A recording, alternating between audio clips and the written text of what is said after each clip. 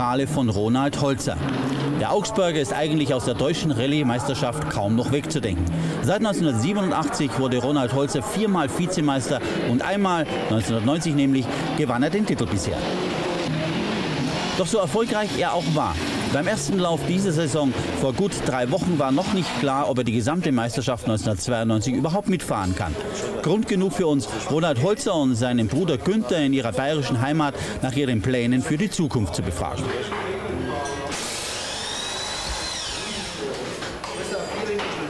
Wenn man die beiden in Inningen bei Augsburg besuchen will und den Weg nicht kennt, braucht man nur zu fragen, denn die Holzerburm kennt hier fast jeder.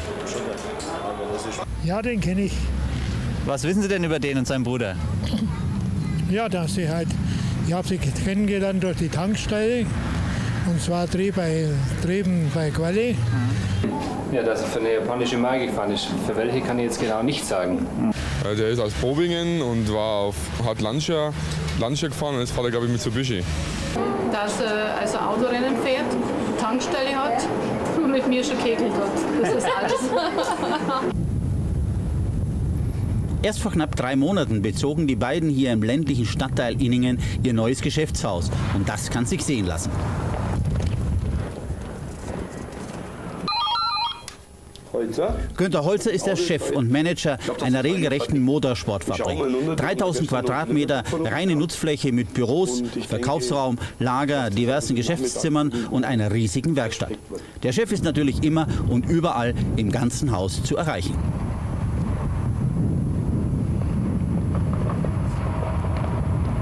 In der Werkstatt selbst werden von der Mechaniker-Crew nicht nur die Rallye-Fahrzeuge für die eigenen Einsätze vorbereitet. Nee, wir haben uns unsere Erfahrung im Rallye- und Rennsport zunutze gemacht und haben dann gesagt, Mensch, äh, nachdem es in Deutschland der Rallye-Sport immer mehr in die Ecke gedrückt wird, wir machen auch mal was für diese Normalkunden, Serienautos, ein bisschen aufmotzen, tiefer legen, stärkere Motoren und aber mit unserem Top-Know-how und ich glaube, da können wir einiges rüberbringen. Trotzdem bleibt der Aufbau von Autos für den Einsatz im Motorsport ein bestimmendes Element der täglichen Arbeit. Nicht nur die eigenen Wagen müssen vorbereitet werden, auch andere Teams lassen bei den Holzers schrauben. Günter Holzer demonstrierte uns eine kleine Auswahl der Fahrzeuge, die zurzeit im Hause präpariert werden. Also das ist unser Auto von der Eifelrallye. Wir sind leider dort ausgefallen. Schade, das ging nicht ganz so gut wie in Dubai. Also man sieht noch arabische Sponsoren drauf. In Dubai war es ein bisschen besser, da haben wir den zweiten Platz erreicht in dem Middle East Championship Lauf. Eifel Rallye leider mit Turboschaden ausgefallen und jetzt geht das Auto zurück wieder nach Italien, weil es war Leihgabe von Fiat Auto SPA Abarth in Italien.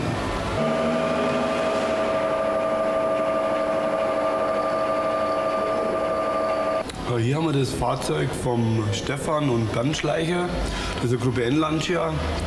Äh, er und sein Bruder und eben ein weiterer Bruder bestreiten auf dem Lancia Delta Integrale Gruppe N die deutsche Rallye-Meisterschaft. Also hier befinden uns im Innern eines Mitsubishi Galant VR4. Das ist also sogenannte Rohbaukarosse. Also die kriegt man normal nicht so abgestrippt. Wir nehmen da Serienautos, die werden dann total abgestrippt, abgekratzt, bis das letzte Gramm alles weg ist, Himmel raus, also man sieht keine Schraube mehr drin, gar nichts. Und dann wird das Fahrzeug komplett nochmal nachgeschweißt. Ne? Weil für normalen Straßenverkehr reicht es locker aus, aber für unsere Rallye-Einsätze in der Gruppe N muss man dann noch verschiedene Dinge stabilisieren. Der Rallye-Einsatz von Günthers Bruder Ronald ist bisher nur für den zweiten Lauf zur deutschen Meisterschaft gesichert. Es ist also folgendes, wir werden jetzt auf jeden Fall mal die Niedersachsen Rallye werden wir fahren. Das steht jetzt mal fest. Wie es weitergeht, wir sind immer noch auf Suche nach Sponsoren. Es ist nicht einfach heuer und wir müssen ja selber wieder, also auf privater Basis fahren. Wir sind auch dran, dass wir eventuell äh, spanische Meisterschaft fahren. Und, aber es wird sich alles noch entscheiden. Eine deutsche Rallye-Meisterschaft ohne Ronald Holzer wäre ohne Zweifel ein sportlicher Verlust. Die Holzers sind eine Tradition in dieser Meisterschaft. Schon 1983 waren die Brüder auf einem Gruppe A Manta dabei, liebäugelten damals sogar mit der Gruppe B. Und war eigentlich geplant, dass ich dann nach den zwei Jahren vom Gruppe A-Auto auf ein Gruppe B-Auto komme. Hat, äh, aber es ist dann bei Opel eigentlich einiges äh, hat sich da verschoben und die haben dann durch das Reglement praktisch hat dann die Gruppe B ist dann weggekommen und es hat mir mit Sicherheit mir das gereizt, mal so einen Manta zu fahren, im 400er. Nur wenn ich jetzt dann ich sehe, äh, mir mit den Gruppe A-Autos sind eigentlich jetzt halt genauso so schnell wieder, mittlerweile wie die Gruppe B-Autos, wenn nicht noch schneller. Mit der Verbindung zu Lancia kam dann der Durchbruch. Seit 1987 fuhr Ronald Holzer beständig an der Spitze mit. Wir sind damals eigentlich ähm, irgendwo ein großes Risiko eigentlich eingegangen, weil wir haben damals das Auto hat glaube ich 180.000 gekostet. Und wir haben ja damals keine Sponsoren gehabt, bis auf muss ich sagen AM, Walter Schleicher, der hat uns damals ein bisschen unter die Arme gegriffen. Und okay, wir haben in dem Jahr wir sind dann gefahren, es hat es ist auch Gott sei Dank nichts kaputt gegangen, weil die Teile damals schon sehr teuer waren.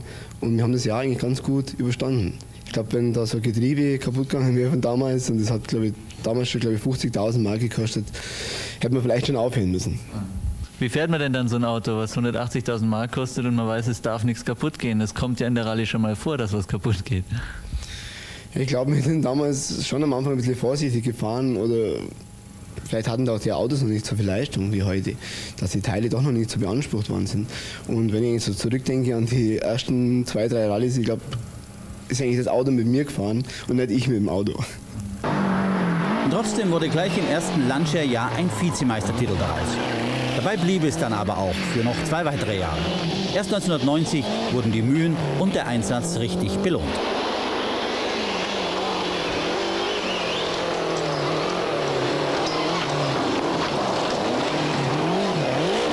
Ich glaube schon, dass der Meistertitel sehr viel äh, zählt eigentlich.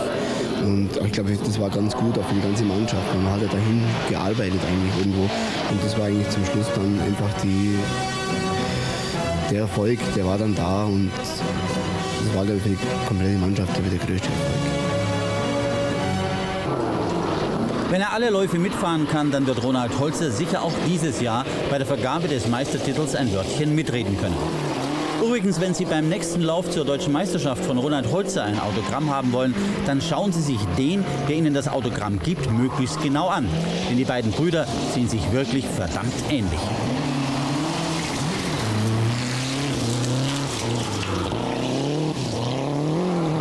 Der mich nicht kennt äh, oder der uns nicht so näher kennt, ich glaube, der verwechselt uns also sehr oft. Und ich mache mir jetzt dann meistens gar nicht mehr die Mühe, wenn die irgendwo von mir Autogramm wollen, dann unterschreibe ich halt und fertig. Dann haben die, glauben die, die haben den Ronald vor sich und das passt dann schon irgendwie. Gell.